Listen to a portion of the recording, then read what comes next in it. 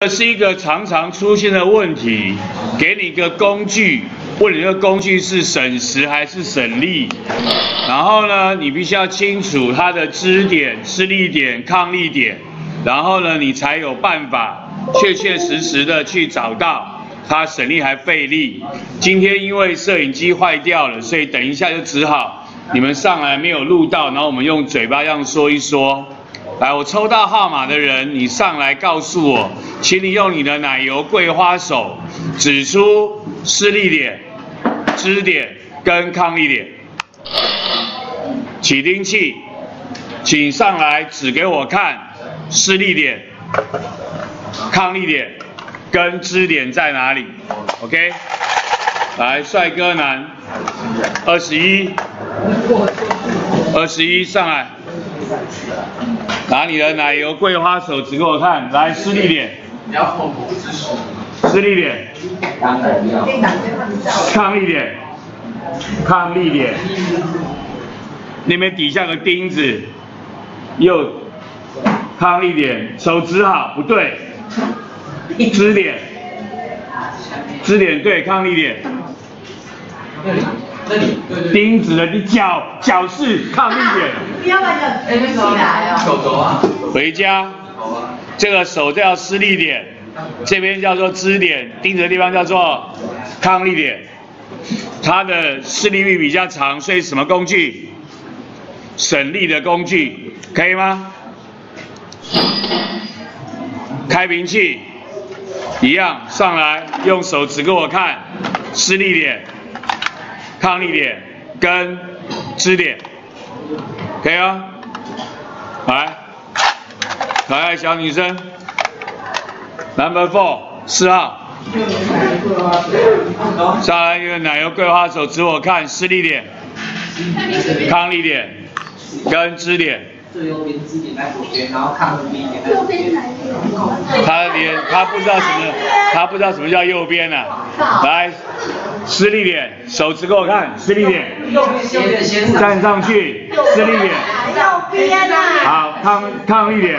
先上啊。抗力点。中间中间中间啊。中间那条东西的中间。后面后面后面后面。支点。中间点，那条黑色的。后面后面后面呢？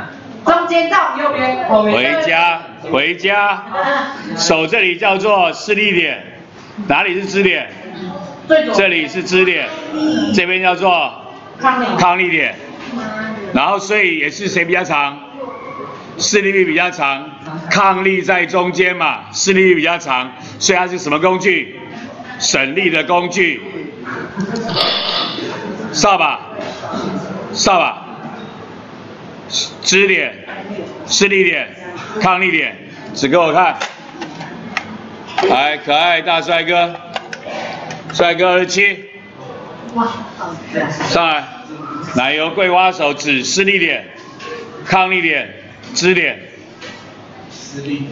施力点。好，抗力点。支点。其实有两种找地方。找不到支点。你要你改，让你改答案，施力点。好，上面叫施力点。好，然后回家。这里手在用力，手这个地方叫做施力点，手抓着不动，这个叫支点。这里叫做抗力点，所以它谁比较长？抗力臂比较长，所以它是个什么力的工具？费力的工具，但它省时，你轻轻动一点，比较有扫好远。你扫的是灰尘，不是钢条，所以费点力还 OK，费点力还 OK。这个没办法录影，我待会用示范给你看，正确的扫地方式要怎么样做啊？就没有录了，以前有录过。来，九号，扫地哦。九号上来，施力点。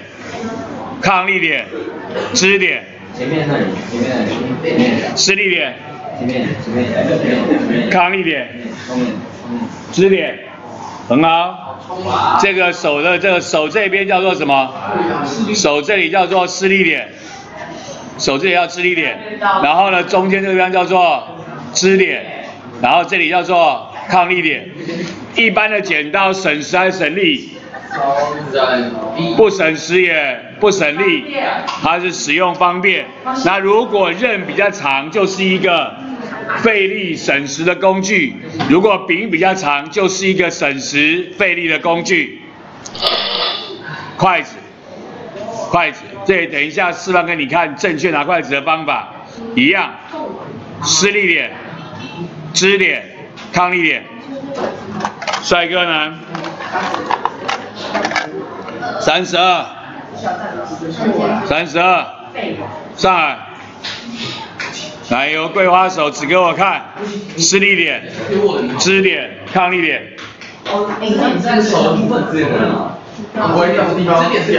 施力点。施力点那个手那边啊，手施力点很好，抗力点。贡丸啊，贡丸很好，支点呢？贡丸是你带端尾端，最上面那边。很好，回家，手这里叫做施力点，尖尖这个地方叫做支点，这里叫做抗力点，所以它是个什么工具？施力在中间，它是一个费力的工具，但它省时，你只要动一点点就可以筷子张好大，然后来夹起你要的东西。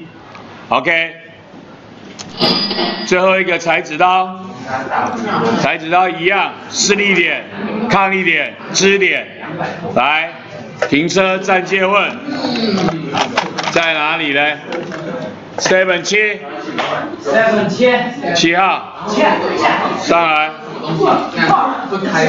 来，施力点、抗力点、支点。施力点很好，抗力点。纸，我要裁纸，所以抗力在哪里？支点。在哪里？回家。手的地方叫做施力点，这个地方叫做支点，压了纸的地方叫做抗力点。抗力在中间，所以什么工具？